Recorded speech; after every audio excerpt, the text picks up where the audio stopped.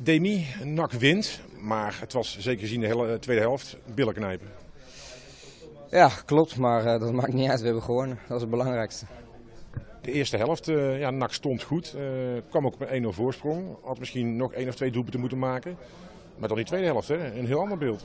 Ja, inderdaad. We kwamen veel onder druk en dat was eigenlijk tegen VV hetzelfde. En ja, de eerste helft hadden we veel ja, die Faik goed voetballen en daar voetballen steeds onderuit. En dat hebben we ja, in de tweede proberen recht te zetten. Alleen uh, ja, dat ging niet helemaal goed. En ja, toen we dat weer hadden teruggezet zoals de eerste helft, toen gingen ze via de zijkanten voetballen. En ja, dan laten we daar uh, ja, te makkelijk voorzetten komen en elkaar uh, voorbij laten lopen.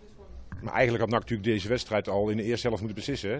Ik denk 2, 3, 100% kansen. Uh, twee, ik denk dat Adje nog een keer met een bal met rechts moet schieten in plaats van links. Uh, Mats op de paal, Guillaume die een bal mist. En ja, dat is jammer. Maar ja, het resultaat is het belangrijkste. En dat, is, uh, dat hebben we hier met de nul gehouden en een goal gemaakt. Dus dat, ja, dat is gewoon voor zondag belangrijk. Wat was het strijdplan eigenlijk voor die tweede helft?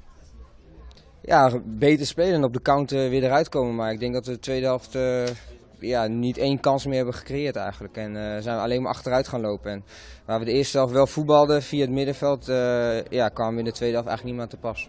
Nee, de slag op het middenveld werd verloren. Kan je eens uitleggen waarom het niet lukte, zeg maar, die tweede helft?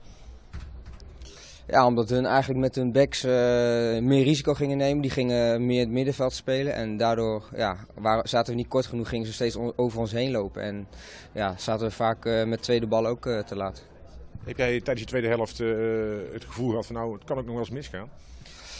Nee, dat eigenlijk niet. Uh, Jelle die pakt, uh, pakt iedere bal de laatste weken en ja, dus daar vertrouw ik wel op.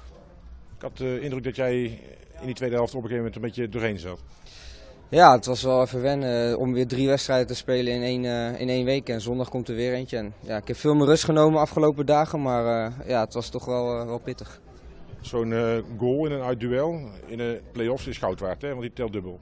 Ja, inderdaad. En hun moeten nu komen en ze moeten uh, ja, twee goals maken om, uh, nou, in ieder geval één goal maken. Maar ja, ik ben ervan overtuigd dat wij zondag gewoon weer een goal maken. Dit gaat NAC toch nooit meer uit handen geven? Nou, dat mag niet gebeuren, nee.